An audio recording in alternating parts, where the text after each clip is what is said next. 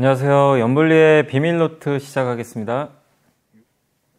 네, 코스피가 이제 이번 주 들어와서 계속 좋은 모습을 좀 보여주면서 연중 최고치를 계속 이제 경신을 하는 모습 보였고 2600을 이제 돌파하고 나서도 굉장히 견조한 흐름이 이어지고 있습니다. 환율도 많이 안정화됐습니다. 1300은 이제 아래로까지 한번 그 꺾이면서 원달러 환율마저도 이제 좀 그, 그러니까 워낙 강세죠. 예, 주가도 강세고 원화도 강했던 한 주였다라고 말씀드리고 싶고 다만 이제 수급적으로 좀 변했던 건 외국인들이 그동안은 정말 공격적인 매수를 하다가 이번 주 들어와서는 좀 쉬어가는 모습을 보였고 반면에 기관들이 좀 바톤 터치라는 그런 수급상이 좀 변수가 좀 생겼고요.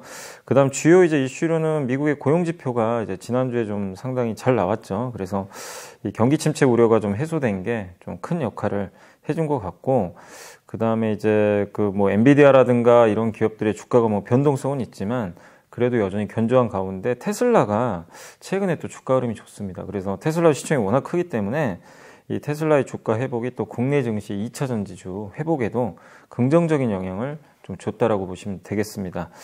그리고 다만 이제 조금 이제 악재성 요인이었던 건 이제 주후반에 그 호주하고 캐나다가 갑자기 이제 금리 인상 결정했죠. 이제 아무도 예상을 못했던 거죠. 그래서 긴축 이슈가 좀 나오면서 일부 기술주에 좀 차익 매물이 나왔지만 그래도 미국이 뭐 FMC에서 당장 금리 인상은 안 할 거다라는 이제 이슈가 또 다시 제기되면서 어쨌든 글로벌 증시 이번 한 주간 좀 긍정적인 흐름으로는 잘 좀 마무리가 됐다고 보시면 되겠고 좀 특징적인 업종으로는 그래도 이번 주는 정말 모처럼 그 경기 민감주죠. 경기가 좀 좋아질 때 갈 수 있는 뭐 조선이나 종합상사 화학 같은 이런 대형주들의 상승이 그래도 이번 주엔 좀 돋보였다라고 말씀드리겠습니다.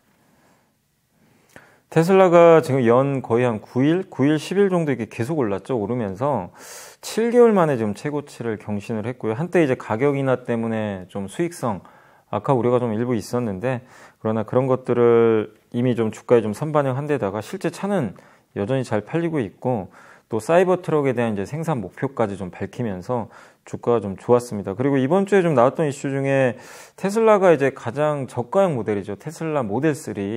거기서 가장 싼 모델인 이제 기본형 모델에는 CATL의 배터리가 들어가 있거든요. 근데 그게 이제 탑재가 되면 사실 그 보조금을 반밖에 못 받아요. 근데 갑자기 이제 미국 정부에서 테슬라 모델 3 기본형 차량도 그 세금 혜택 7,500달러 다 받을 수 있다라고 확인을 좀 해줬습니다. 그러니까 시장에서 이제 확실하게 뭐 그럼 테슬라가 뭐 CATL 배터리 뺀 거냐 이거는 알려지진 않았습니다. 그러나 시장에서는 CATL 배터리를 뺀 거 아니냐 그렇게 돼야만이 이제 미국에서 보조금을 좀 받을 수가 있거든요. 그래서 오히려 CATL 주가는 급락을 해버렸습니다. 그래서 테슬라가 결국엔 이제 모델 3 보조금을 좀 완벽하게 이제 받을 수 있다라는 이제 그런 부분까지 나오면서 이번 주는 테슬라가 뭐 어떤 빅테크 기업보다 좀 돋보이는 한 주를 좀 보냈다라고 말씀을 드리겠습니다.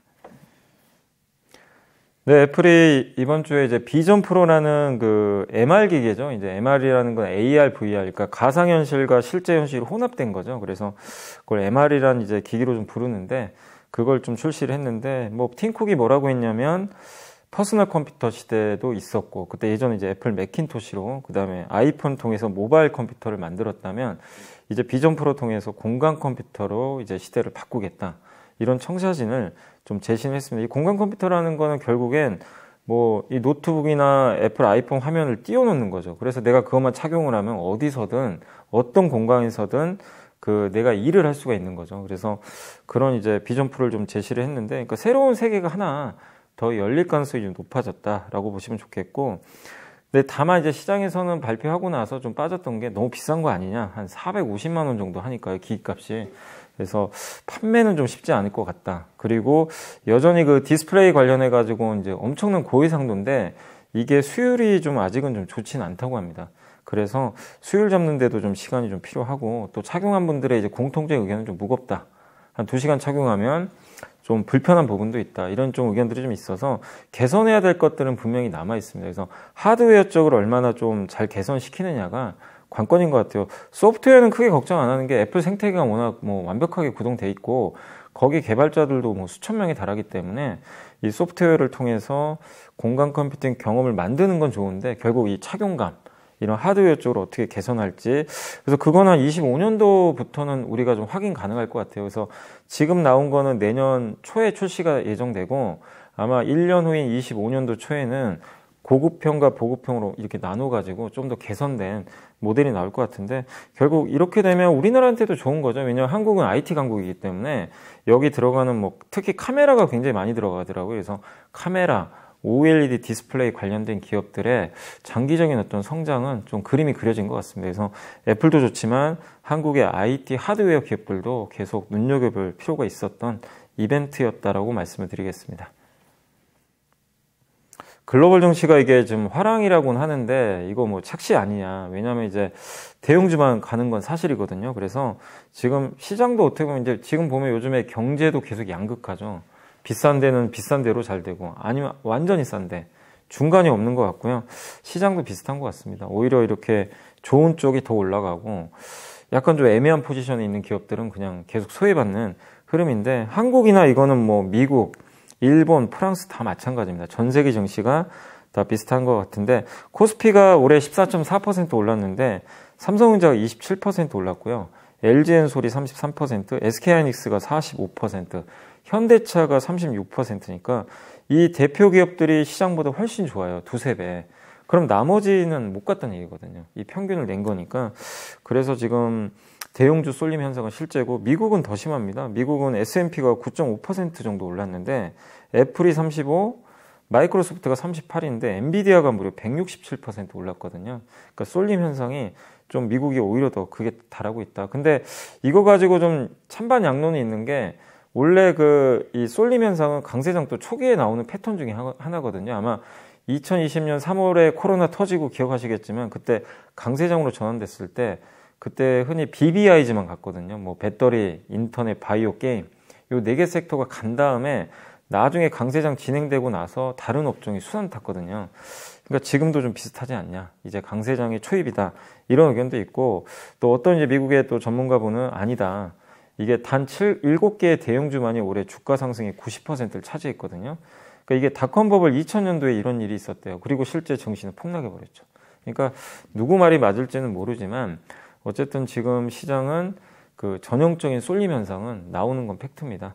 다만 이제 여기서 중요한 거는 우리가 뭐 미래를 알 수는 없지만 이 쏠림 현상이 완화되려면 다른 업종들이 가져야 되거든요. 그러니까 그런 현상들이 근데 제가 봤을 땐 이번 주에 좀 나왔거든요. 미국의 다우도 괜찮았고 한국에선 경기 민감주가 실제 좀 움직였어요. 그래서 약간 이 쏠림이 완화되는 모습은 보이고 있어서 일단 좀 강세장의 모습으로 가고 있는 게 좀 맞지 않나라고 좀 보고 있습니다.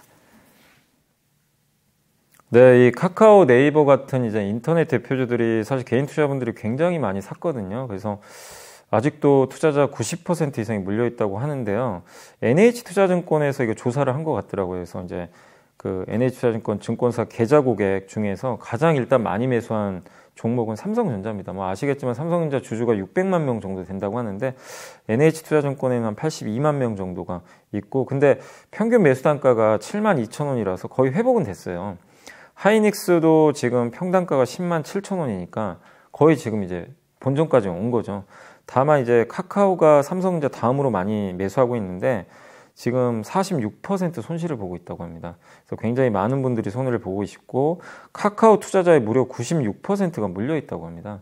그 정도로 지금 예전에 한창 카카오 좋을 때 투자를 하셨던 것 같고 네이버도 마찬가지입니다. 네이버도 수익률이 마이너스 35, 손실 투자자 비중이 91%니까 다만 이제 올해 들어와서 좀 특징적인 건 개인 투자자분들 중에 2차 전지 투자하신 분들 굉장히 많거든요. 그러니까 그분들은 성과가 되게 좋았어요. 그렇지만 과거에 뭐 2, 3년 전부터 그 반도체 투자하신 분들은 이제 그래도 좀 좋아지고 있는데 네이버 카카오를 집중적으로 투자하셨던 분들은 아직까지는 좀 고통이 큰데 지금 사실 모멘텀이 딱히는 없거든요. 근데 이제 네이버 카카오 올라가려면 결국 금리가 떨어져야 될 것 같아요. 금리 하락이 시작돼야 되고 경기는 괜찮아야 됩니다. 왜냐하면 경기 회복이 좀 나와야 광고가 살아나거든요. 근데 어쨌든 이게 참 양립하기 어려운 부분인데 결국 통화정책 면에서는 금리 인상이 어쨌든 멈춰야 되고요. 경기가 조금씩 살아나야 기업들의 광고가 들어오니까 이 두 가지 변수들이 좀 좋은 쪽으로 나와야 되는데 지금 당장은 아니거든요. 그래서 조금 더 시간은 필요할 수밖에 없다라는 게 이제 대체적인 중론이라고 좀 말씀을 드리겠습니다. 네, 개인 투자분들이 지금 좀 눈치 보고 있다는 얘기들이 좀 많이 나오는 게 4월 달에 일평균 그 증시 거래 대금이 한 26.4조 정도 됐었거든요. 근데 5월 들어와서는 18조 원이니까 이게 한 31% 가까이 급락을 해버렸죠. 그러니까 4월 말에 아마 기, 아시겠지만 그때 이제 SG발 주가 조작 사태가 발생했잖아요. 그때부터 뭐 CFD 관련된 매물 나오고 신용도 축소되고 또 그때 2차전지도 같이 빠져버렸습니다. 이 중심 축인. 그러다 보니까 이제 시장의 심리가 좀 개인들의 심리가 많이 위축되면서 거래 대금이 많이 줄어들었고 특히 이제 미수금 대비 그 반대 매매 금액도 엄청납니다. 이게 9,789억 정도 지난달에 있었다고 하니까 2006년 이후로 가장 높은 수치라고 하더라고요. 그래서 그만큼 개인들의 이제 신용 매물이 좀 출회됐던 것도 하나의 좀 약간의 부담이었던 것 같습니다. 다만 여전히 그 예탁금은 50조 원 이상 유지가 되고 있기 때문에 저는 이제 개인적으로 좀 시간이 좀 지나서 다시 뭐 2차 전지나 반도체나 또 개인 투자분들이 선호하는 그런 업종들의 주가가 올라가 준다면 다시 또 거래대금은 증, 증가할 것 같은데 일단은 4월의 그 충격 이후로 아직까지는 개인들은 조금 소극적으로 시장을 바라보고 있다라고 말씀을 드리겠습니다. 네, 저는 이제 우리나라 기업들이 참 대단한 게 제조 강국인데 그 진짜 이가 없으면 잇몸으로 하는 것 같아요. 그러니까 놀라운 게 사실 저도 이제 예전에 한 5, 6년 전에 5, 6년 전이었나요? 그때 한 2017년 그때로 돌아가 보면 그 LG 에너지 솔루션 그때 LG 화학이었죠. 중국의 배터리 잘 만들어서 하는데 중국이 보조금을 안 줍니다. 그러니까 우리나라 배터리는 중국 차에 탑재가 되면 보조금을 안 주는 거예요. 그러면 중국 회사들이 안 쓰겠죠, 당연히. 그러니까 이게 너무 불공정했던 거죠. 근데 뭐 그렇게 가다 보니까 어쩔 수 없었고 그래서 중국에서 시장을 그냥 다 잃어버린 거죠. 근데 거기에 만약에 그냥 좌절했다면 아무것도 없었겠죠. 근데 그게 오히려 약이 됐는지 중국을 좀 포기하고 어디로 갔냐면 뭐 헝가리나 저 폴란드로 가버렸어요. 그래서 유럽에 베팅을 시작을 했고 그때는 정말 많이 또 뭐 그 돈을 못 보니까요. 자꾸 적자만 보고 만들어도 수율도 안 나오고 이러다 보니까 주가도 되게 안 좋았거든요. 이거 뭐 진짜 2차전지 돈 버는 거 맞냐? 근데 계속 했어요. 해서 기술 개발하고 해서 유럽을 장악을 했고 이제 미국 시장까지 이제 장악을 앞두고 있는데 정말 우리 한국 기업들이 굉장히 좀 잘했다. 결국엔 좌절하지 않고 배터리 시장이 커질 거를 계속 염두에 두고 투자를 했던 지금 결실이 저는 좀 나오고 있다. 그래서 작년 EU 시장의 점유율이 우리나라가 63%까지 지금 늘어났다고 하고 이건 사실 배터리만 해당되는 게 아니라 우리나라 기업들 보면 자동차도 마찬가지거든요. 자동차가 옛날에 10년 전에 현대차 점유율이 10% 가까이 됐거든요. 중국에서. 지금 점유율이 1%밖에 안 돼요. 근데 그대로면 세계 치, 세대 시장에서 점유율 이뤘으니까 주가 못 올라가야 되잖아요. 그게 아니죠. 미국에서 점유율 올리고 다른 나라의 점유율을 많이 올려버렸어요. 그래서 결국엔 방법을 찾아낸 거죠. 그래서 저는 이게 어쨌든 어떤 기업이든 뭐 여러분도 마찬가지지만 위기가 오면요. 그걸 극복을 하면, 하는 사람이나 기업들한테 대접을 저는 해줘야 된다. 그게 우리나라 지금 배터리 기업들이 대접을 받는 저는 가장 명확한 이유가 아닌가라고 말씀을 드리겠습니다. 네, 조선 삼총사가 정말 요즘에 분위기가 좋습니다. 뭐 이번 주 들어서도 좋은 분위기인데 일단 삼사가 뭐 조선 삼사라고 하는 거 이제 현대중공업 그룹 있죠. 거기에 사실 이제 현대미포, 현대중공업, 삼호중공업 다 합쳐서 그냥 하나라고 일단 보시면 되겠고 그룹으로 그리고 삼성중공업, 하나오션 이렇게 좀 보시면 좋을 것 같은데 이 기업들이 좀 최근에 수주도 여전히 잘 되고 있고 근데 각각의 이제 특징만 좀 말씀을 좀 간략히만 드리면 HD 한국 조선해양 이제 현대중공업 그룹 같은 경우는 메탄올 추진선 같이 이제 친환경 선박에 대한 투자를 굉장히 많이 하고 있어요. 현대중공업의 강점이 직접 엔진을 만듭니다. 근데 메탄올 연료로 하는 그 추진선은 아무나 못 하거든요. 근데 그런 이제 R&D 그러니까 연구 개발 투자를 했던 성과들이 지금 나오고 있고 아마 나중에 또 암모니아 선박까지도 내년에 아마 할 걸로 얘기들이 나오고 있습니다. 그리고 벌써 연간 수주 목표 72%가 달성해서 지금 HD 한국조선해양 여전히 좋은 분위기고 삼성중공업은 이제 드디어 흑자 전환했죠. 22분기 만에 흑자 전환에 일단 성공을 해줬고요. 점유율 80%인 이제 FLNG라고 이게 해양 플랜트거든요. 그러니까 바다에서 배에서 천연가스를요. 이 천연가스는 가스잖아요. 요거 기체인데 이거를 액화시키는 거예요. 액체로 바꾸면 그게 LNG가 됩니다. 그래서 그런 이제 그 설비 그 수주를 좀 잘하고 있는데 그게 점유율이 무려 80%나 돼요.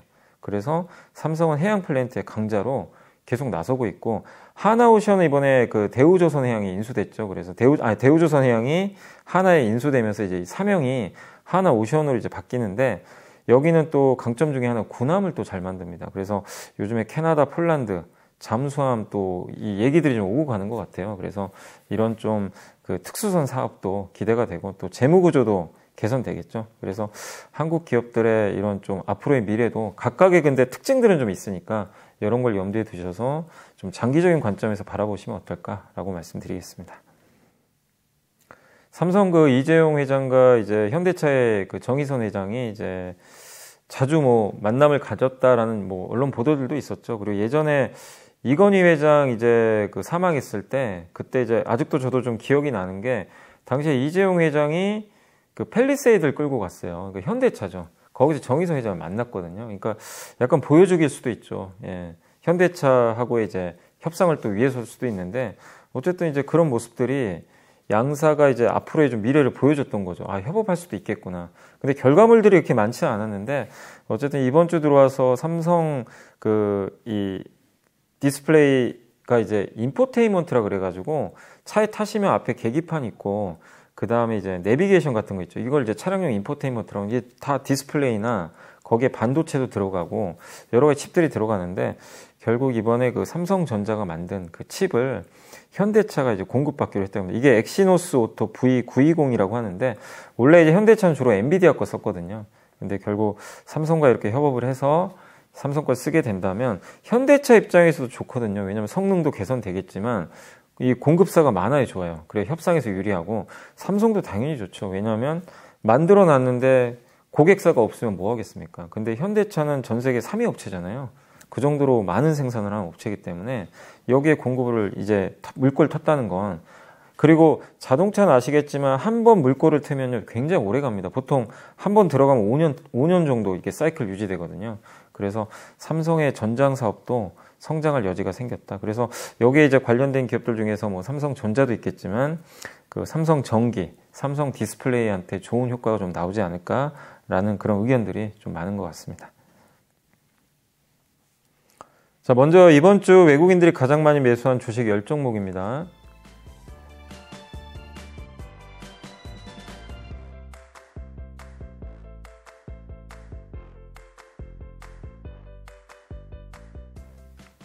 이번에는 기관들이 가장 많이 담은 종목들입니다.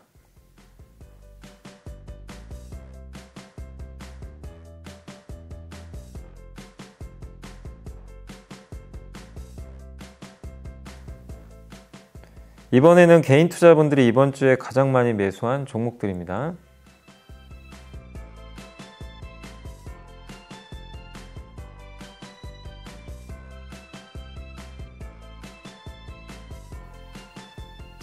이번에는 이번 주 들어 가장 많이 상승한 10개 업종을 살펴보겠습니다.